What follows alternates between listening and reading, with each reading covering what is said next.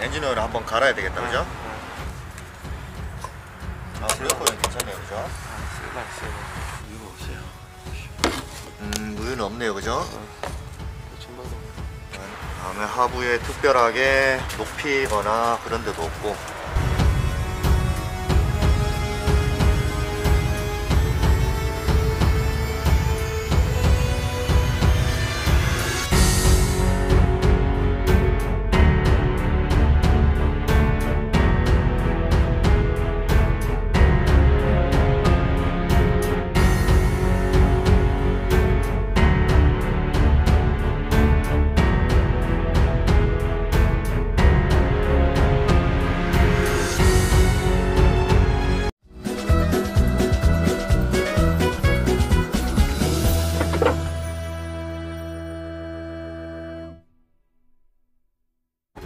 앞서 소개해드린 베라크루즈 블랙 컬러였습니다. 2010년식 주행거리 30만 킬로 상당히 많은 주행거리죠. 그 차량이 올라감과 동시에 바로 계약이 이루어졌고 지금은 며칠 전 출고까지 다 마친 상태입니다. 서울에 사시는 구독자님께서 타고 계시던 K5를 제게 매각을 하시고 베라크루즈로 대체를 해 가셨습니다.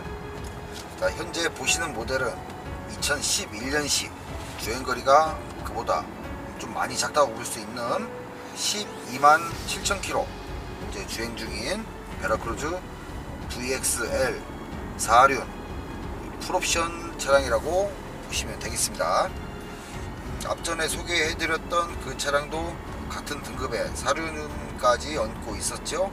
현재 차량도 마찬가지로 그 차와 유사한 동일한 이런 옵션 을 갖추고 있고 4륜 구동까지 탑재가 된 상품입니다.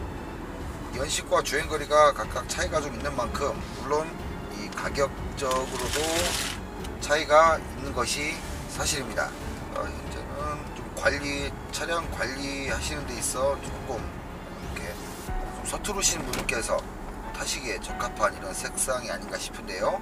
쥐색이라고도 부르고 그레이색이라고도 불리는 컬러가 매치가 되어 있는데 확실히 이 블랙 컬러보다는 관리하는 데 있어 거저라고 할 수 있을 만큼 관리하는 동안 크게 손이 많이 간다거나 하지는 않을 것 같고요. 자 현재는 내리막 커브를 악셀링 없이 이렇게 주행을 하고 있습니다. 상당히 부드럽습니다. 이 차 특성 자체가 또 6기통 디젤 엔진이 얹혀진 만큼 당연히 이 4기통에 약간 갈갈거리는 그런 어, 엔진 음색과는 좀 다른 부드러운 좀 더 고급스러운 이런 엔진 음색을 보여주고 있는데 또 그 맛에 베라크루즈와 모하비를 또 타는 것이기도 하고요. 파워라는 부분 배기량이 있다 보니까 250마력에 육박하는 토크도 거의 뭐 한 50토크 전후로 셋업이 되어 있는 차량이기도 합니다. 사실 추월 가속 성능 자체가 어 이렇게 악셀을 한번 깊게 쭉 밟아주면 정말 이 육중한 차체가 거침없이 튀어나가는 이런 모습들도 느낄 수가 있고요. 자 주행 테스트에서는 어쨌든 합격점이라고 말씀을 드릴 수 있겠고요. 나머지 이제 하부 점검과 소모품 점검에서 또 어떤 모습을 보여줄지 또 소모품 교환 50% 이하의 소모품은 모두 교환을 해서 전시를 해 놓을 예정입니다. 자, 정비소로 가서 현재 차량의 점검을 한번 해보도록 하겠습니다. 자 베라크루즈 11년식 차량. 자 차량 점검하겠습니다. 자 부동액 상태 어떻습니까? 갈아주셔야 돼요. 한번 갈아야 될 것 같아요. 네. 알겠습니다. 엔진 오일 한번 볼까요? 갈아야 됐을까 자 에어클리너도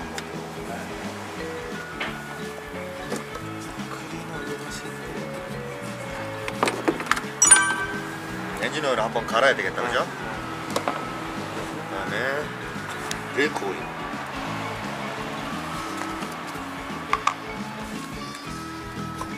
자 브레이크 오일 괜찮네요 그죠?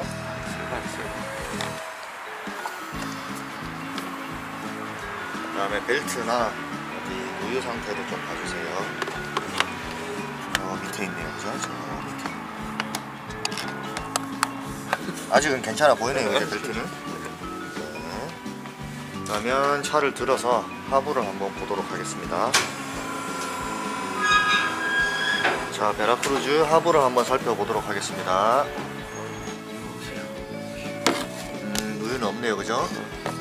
부싱류나 패드 좀 봐주십시오. 그리고. 패드 많이 남았고. 부싱 상태도 괜찮네요, 그죠? 응. 아, 앞에도 괜찮습니다. 하부에 특별하게 높이거나 그런 데도 없고